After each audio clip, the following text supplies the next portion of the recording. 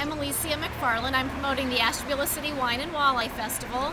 It's August 22nd and 23rd in Ashtabula. We have a walleye tournament that's going to pay out $2,000 for the largest walleye in the amateur division and $1,000 in the pro division. And down at our Walnut Beach, we have 10 local wineries that are, that are going to have tastings for you. Tickets are discounted on our website, which is wine and walleye, spell out the word and, wineandwalleye.net, and you can see all the fun things that we've got cooking for Ashtabula in August.